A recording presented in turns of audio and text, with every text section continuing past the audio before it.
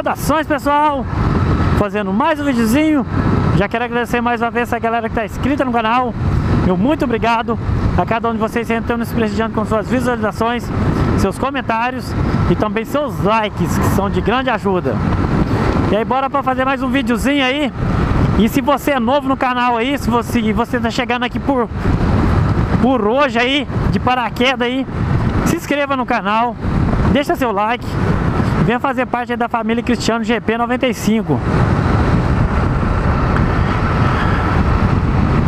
E hoje eu vou começar mais um vídeo, pessoal E o vídeo é Compensa ter um consórcio em 2020? Compensa fazer um consórcio, né? Em 2020 Um consórcio de moto, né?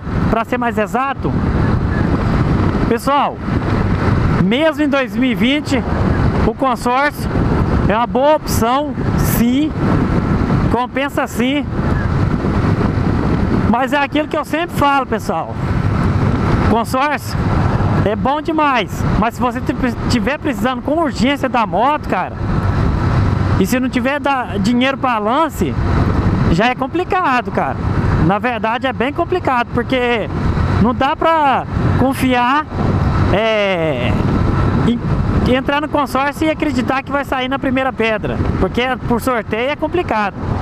Por mais que o, o vizinho saiu, o fulano saiu, o ciclano também saiu, mas cara, é imprevisível.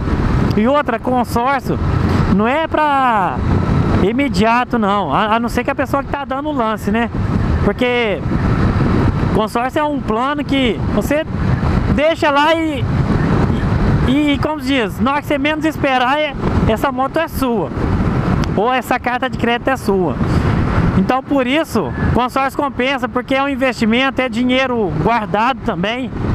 E é um compromisso, porque por muitas das vezes aí você pensa em trocar sua moto e todo mês pensa em juntar 200 a 300 reais, mas acaba que surge um imprevisto ou alguma coisa do tipo e você vem a gastar esse dinheiro então quando você faz o consórcio, é, você automaticamente já tem uma obrigação de estar tá pagando esse consórcio. É, e se você for um desistente, você já sabe que tem a pancada dos 15% aí de, de. Porque você saiu do consórcio, então já perdeu. Já perdeu 15%, então muita gente se motiva em pagar sim e para ter o bem também. Tanto a carta de crédito como o veículo também, que é a moto, né? E mesmo em 2020 ainda é uma boa opção, principalmente na pandemia aí. Agora para você que está precisando com urgência, é, moto, não é bom consórcio, cara. É bom você pegar o dinheiro que se você tem algum dinheiro já e aproveitar e, e comprar uma moto menor. Compra uma motinha menorzinha aí, uma moto barata. Aí sim, você com a moto barata, você pode pegar e entrar num consórcio. Aí o que, que vai acontecer? Você vai estar tá pagando um consórcio, mas tá andando de moto. Você tá tranquilo. Não vai tá, não vai estar tá sofrendo aí. Angustiado todo, todo dia de assembleia, dia do sorteio lá, você doido, querendo que a moto saia, você, você liga pro, pro vendedor, o vendedor demora a atender. Aí você já fica passando mal, porque é complicado, cara. Ansiedade bate mesmo. Então é melhor, se você tiver dinheiro, compra uma moto usada e vai pagando consórcio, que é pelo menos você não sofre. E se você não tem dinheiro, mas tem dinheiro para pagar consórcio, cara, paga o consórcio. É melhor você pagar esse consórcio. Vai com calma, tranquilo, que um dia ele sai para você. E se você, é igual eu falei, se você deixar para juntar na sua, eh, juntando aí, vai acontecer de uma hora surgir um imprevisto e você gastar. A não ser que você quer, queira é, fazer é, uma, uma, juntar um dinheirinho para depois dar de lance. Aí sim realmente é um interesse, aí é bem interessante.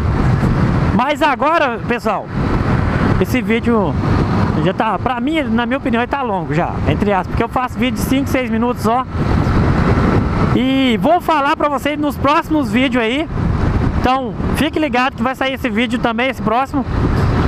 Eu vou falar de três consórcios, três tipo, três tipo, três formas de consórcio, né? É, então vocês vão ver tipo assim, um consórcio, esse consórcio tipo Honda e Yamaha e mais duas formas de ter consórcio para você ter uma ideia de qual você vai avaliar para ser melhor para você. Então fique ligado, nos próximos vídeos vai sair um vídeo de consórcio aí para vocês, para você ter uma ideia e avaliar qual vai ser o melhor.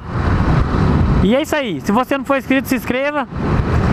Compartilhe com os amigos, deixa seu like e lembrando, consórcio é uma boa opção sim, mesmo em 2020.